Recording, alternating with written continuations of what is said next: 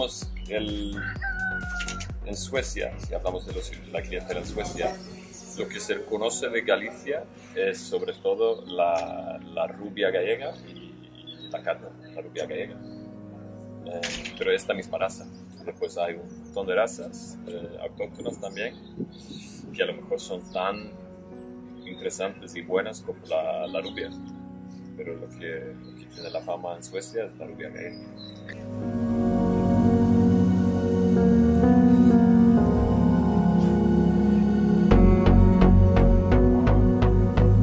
Bueno, pues aquí estamos en Fisterra, confiando en Discarlux, porque pensamos que es exactamente lo mismo que la de las carnes. Algo diferente, algo nuevo y que apuesta por, por la.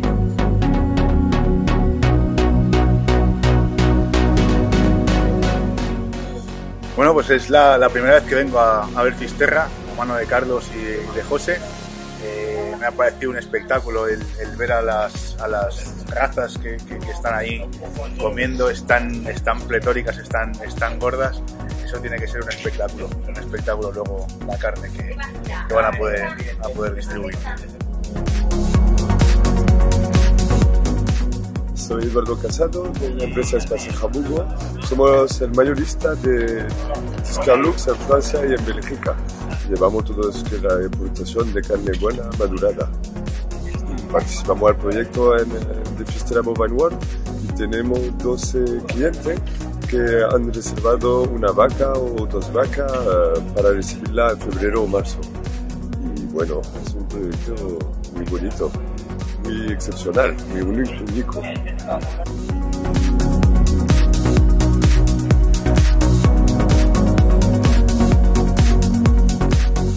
Bonjour, moi c'est euh, Christophe Le Bourdet, Boucherie du Soir Paris 14e. Et euh, on fait euh, partie du projet Fistora Bovine World. Moi j'ai commandé la race Sayagesa. c'est ça. Et, euh, et ben, bienvenue euh, pour faire partie dans le projet.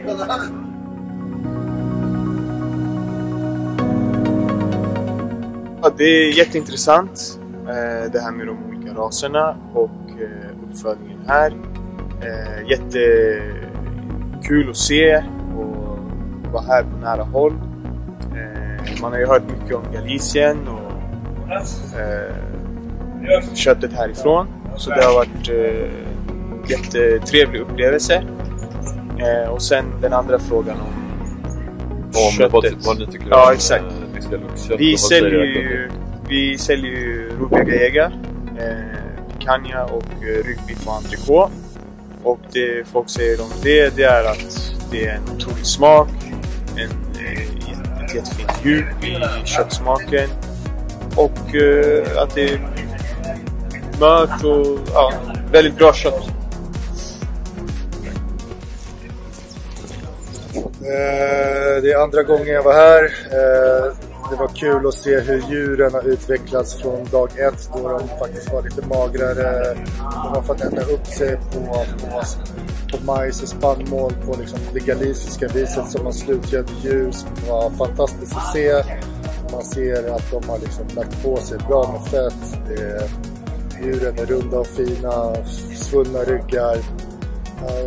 Sjukt häftigt att det är någon som har vågat göra det här projektet verkligt och inte bara prata om det.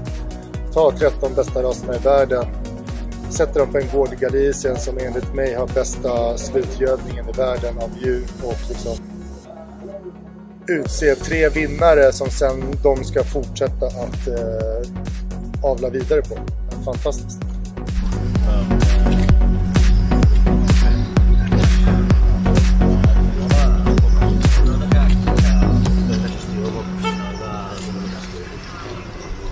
E abbiamo provato tante cose buonissime grazie a Massimo Buffino, abbiamo provato dei, dei prodotti veramente eccezionali che eh, hanno fatto aumentare la qualità del nostro ristorante. Un fascino particolare, eh, ci, fa- ci sono delle cose veramente bellissime.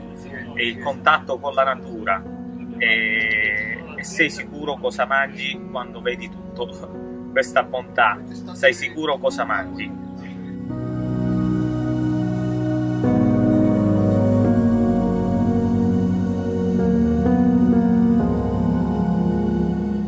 Il progetto di Iscarlux è molto affascinante, molto bello, 13 razze più importanti al mondo vivono in cisterna. Oggi abbiamo visto un allevamento, siamo rimasti entusiasmati da questo, da questo progetto. E noi come italiani stiamo facendo un po' di far conoscere un po' la, la, il progetto a tutta l'Italia perché è poco conosciuto.